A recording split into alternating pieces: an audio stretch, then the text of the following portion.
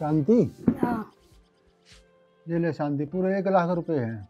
एक लाख रुपए कितने लाए? पहलवान का किला गाना कर दिया दो के ब्याज पे। अच्छा। बेटी की शादी धूमधाम से कर। चलो ठीक है।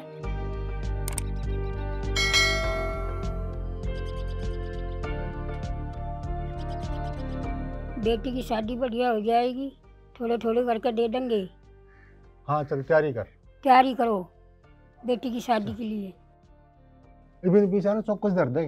घरा की धरेंगे बैंक में जमा करी आओ। अच्छा ले फिर तो इब्बा करवाया हूँ। हाँ इब्बे करवाओ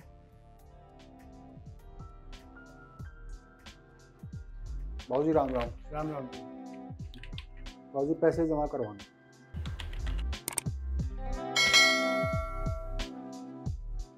का क्या बात है बड़े खुश नज़र आ रहे हो। एक खुशी का राज हमें बता दो। बेटा अगले महीने बिटिया की शादी है। अरे बड़ी खुशी की बात है।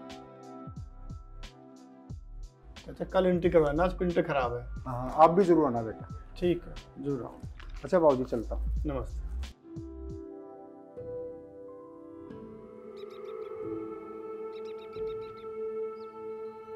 यार मनोज तेरा ही गया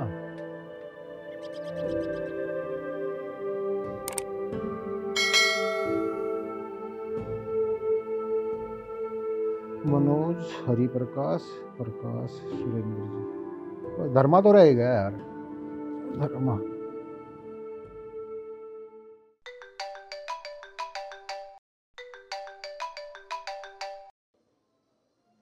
Hello? Hello? Good morning sir मैं बैंक से बोल रहा हूँ। कैसे हैं आप?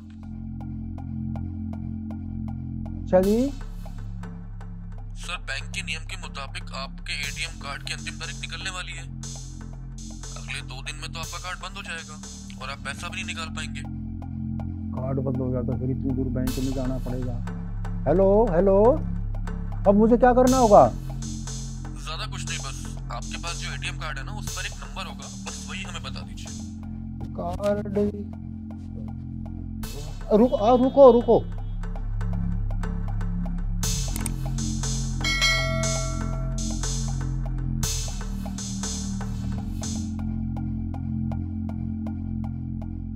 हाँ जी हाँ जी साहब ये मिल गया मेरा कार्ड। अच्छा जी। सात आठ पाँच तीन दो। हाँ जी तो साहब आप आगे तो हमें कोई परेशानी नहीं रहेगी ना? जी नहीं बस आप कार्ड के पीछे जो तीन नंबर लिखे हैं ना वो जरा जल्दी से बता दीजिए। कार्ड के पीछे? दो दो।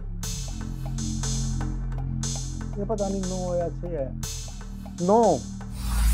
बहुत बहुत शुक्रिया सर। आपका ना मैं अभी एटीएम कार्ड की एक्सपायरी डेट एक्सटेंड कर देता हूँ। इसके बाद आपको कोई दिक्कत ही नहीं होगी। धन्यवाद साहब जी। कोई वही बहुत बड़ी आदमी था नहीं तो पता नहीं कितनी दिक्कत हो जाती। शादी में परेशानी हो जाती।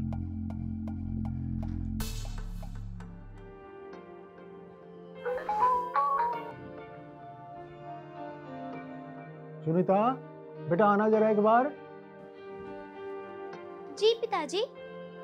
बेटा बैंक वाले बाबू का फ़ोन आया था। वो कह रहा था कि अब लेन देन में परेशानी नहीं होगी। और देख अब ये अब ये कोई मैसेज आया है। देख। पिताजी इस मैसेज में तो लिखा है कि आपने अभी अभी बैंक से एक लाख रुपए निकाल लिए। मैंने? नहीं मैंने तो कुछ नहीं निकाला दिखा। फिर कौन निकाल सकता है? पिताजी क्या आपके पास किसी बैंक वाले साहब का फ़ोन आया था? और उन्होंने आपसे कोई नंबर पूछा था? हाँ बेटा एक फ़ोन आया था कह रहा था कि आपका एटीएम बंद हो जाएगा तो नंबर बता दो और मैंने बता दिया। पिताजी हमारे साथ धोखा हुआ है। जिसका फ़ोन आया था वो फ्रॉड था। उसने हमारे सारे पैसे निकाल लिए। हमें ठग लिया पिताजी।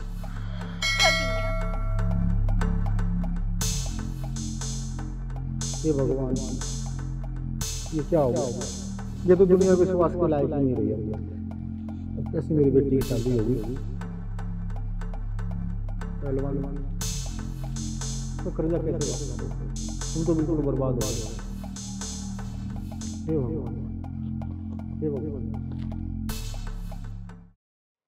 अगर आपको हमारी ये वीडियो पसंद आई हो तो प्लीज़ लाइक कीजिए और ज़्यादा से ज़्यादा शेयर कीजिए। और हाँ चैनल को सब्सक्राइब करना ना भूलें। हाँ भाई सब्सक्राइब भी करें और सावधान रहें।